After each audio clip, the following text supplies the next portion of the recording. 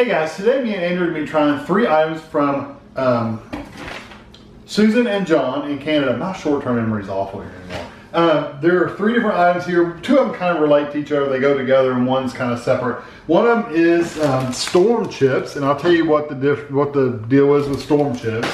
And the other one is a clamato juice, clamato, clamato juice, clamato. You say clamato, I say clamato. Um, anyway, this is the works. And then this is a glass rimmer, which is like a, um, a salt, but it looks like it has seasoning and stuff in it. So she says that the juice and the rimmer um, says most Canadians don't realize that this is a Canadian product, but but I'm pretty sure we get it down here. I think I've seen this at like the um, the liquor barn. I think I've seen this before, but I don't remember. I may not. I may remember wrong. And usually you take it and you put it into a glass with this Caesar uh, rimmer salt. So what you do is you dip. I'm to open this up so you can see what it looks like. Well, I'm to try to open it down. I opened it once already just to make sure I could open it. That's what the salt looks like. And oh yeah, definitely has a smell to it. It smells like uh, dressing. I'm gonna get Tami just to stick her nose down there just to smell. What do you? What seasoning is that? I don't know. Something I'm not familiar with. Anyway, it, it definitely has a seasoning to it. So what you do is you take your glass and you dip it in water, and then you dip it into the salt. And you got a rim. And I probably put too much on there, but who knows? I don't know. I've never. I don't. I'm not a drinker, so I don't know. Uh, I don't know exactly how you do it.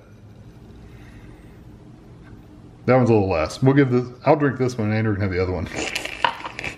and then what you do is you take this and you fill it. Um, the the recommended way of doing it is you put um, you fill it about halfway up with the with the drink with ice, and then you add the juice, and then you add um, Worcestershire and Tabasco sauce to it. But since this one says the works, she says it already has it in there, so you don't have to add anything to it.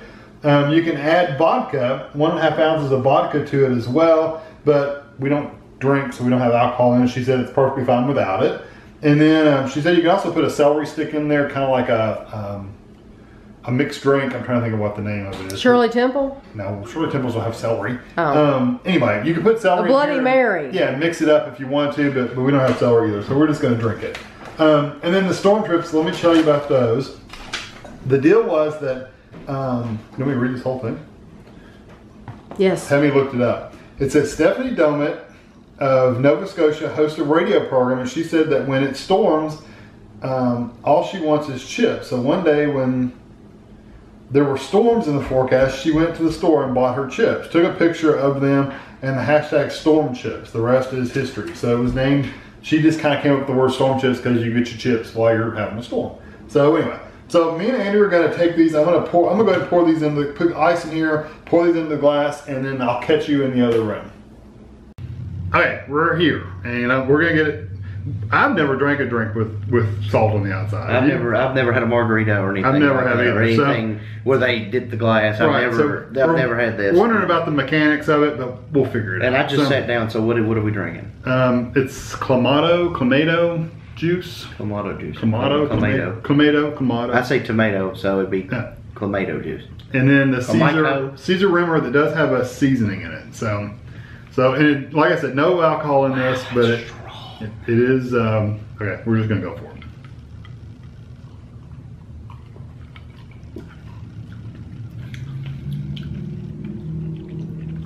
The salt is really, really strong. That's spicy. Some heat to it. It's not bad though. I kind of uh, like it. The the the rimmer's where it's at. The rimmer's got all the stuff. Yeah, now Susan says she did not like the rimmer, so she drinks it with a straw. But um, you get a lot of salt and seasoning. I'm gonna drink another drink without the the place I already drank it at and see if I like it. Well, the, I need to just get the juice. some of mine off then, because I want to just taste the juice.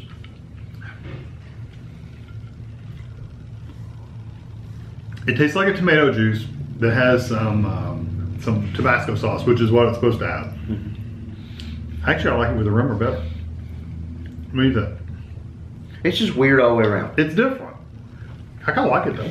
It's different. It's weird all the way around for me. It, it it's it shouldn't be that unpleasant um, without some sort of alcohol. Yeah. Now with alcohol in it, it's going to whatever. You know, Um, I don't mind it. I didn't know it had hot sauce in it, It's but it spicy, is isn't it is very very spicy, and the uh, the rimmer makes it ten times more spicy, like, like as if I just shook spices in my mouth. Yeah. Okay. We'll slide it here. Give me your glass. You're making a mess on And it's, it's just weird. Okay, let's try these chips. I'm like already burping spices. These are storm chips, and they're only called that because the girl said that she likes to eat chips when there's a storm. So she took a picture of some chips and called them storm chips. That's kind of how they, they happen. Now they've been kind of That's how the, the brand came about. This is just what they call them. Uh, they've been kind of smush, but I think there's a mixture of chips in here. I see some that are light, some that are dark. They look like kettle chip.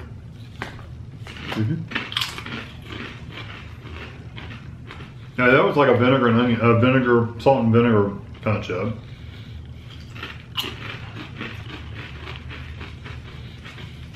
That's what I'm getting. Salt and vinegar. Mm-hmm.